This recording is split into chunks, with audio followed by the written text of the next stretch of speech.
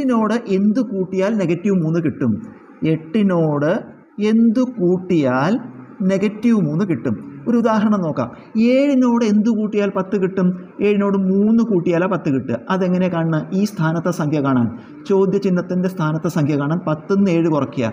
പത്തുനിന്ന് ഏഴ് കുറച്ച മൂന്ന്. അതുപോലെ ഇവിടെ എന്ത് കൂട്ടിയാൽ ചോദ്യചിഹ്നത്തിന്റെ സ്ഥാനത്തുള്ള സംഖ്യ കാണാൻ നെഗറ്റീവ് മൂന്നെന്ന് എട്ട് കുറയ്ക്കുക. നെഗറ്റീവ് മൂന്ന് കുറയ്ക്കണം എട്ട്. ഇനി ഇത് നെഗറ്റീവ് സംഖ്യയാണ്.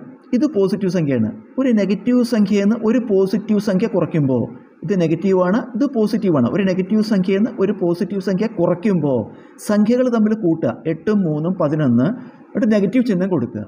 ഉത്തരം നെഗറ്റീവ് പതിനൊന്ന്.